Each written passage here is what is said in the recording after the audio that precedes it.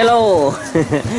Chào toàn thể các bác nhá. Như các bác thấy là hàng về rất là nhiều, Cũng là mục đích là chuẩn bị cho Các cái kho hàng ở bên phía đối tác của chúng tôi Là phía bên Trung Quốc ấy, Họ sẽ nghỉ Tết rất là sớm. Theo cái thông tin chúng tôi được biết Thì tầm độ khoảng 3 ngày nữa là họ nghỉ Tết rồi. Tết ở bên đấy thì họ nghỉ rất là sớm Cho nên chúng tôi phải nhập hàng về với số lượng rất là nhiều.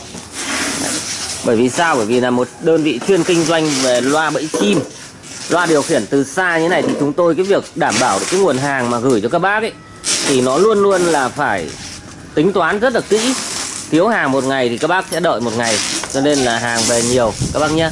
Các bác mua hàng đảm bảo về số lượng, ăn chơi đi, kể cả những ngày tết tết các bác nào mà lô đề hay là lắc đĩa các kiểu mà nhiều tiền thì các bác cứ mua ủng hộ thoải mái. Thế còn các bác nào mà chót thua rồi ấy, cứ cũng liên hệ với chúng tôi để nhận được cái quá trình giảm giá. Ờ, cho các bác mà ăn chơi. Đấy, ăn chơi thả ga luôn. Hàng về rất là nhiều. Nhưng hàng hôm nay các bác thấy là những cái đơn hàng này chúng tôi sẽ đóng gửi đi. Và các bác cũng lưu ý luôn là muốn chơi Tết ý, thì các bác đặt hàng từ bây giờ. Chứ nếu đến sát Tết thì chúng tôi sẽ không thể nào mà gửi nhanh được cái số lượng hàng cho các bác đâu. Đấy, bây giờ đã là tầm sát Tết rồi. Thì các bác có thể liên hệ đặt hàng ngay hôm nay khi cập nhật được video này. Những mẫu loa bẫy chim về rất nhiều. Đây mới chỉ là một chút thôi.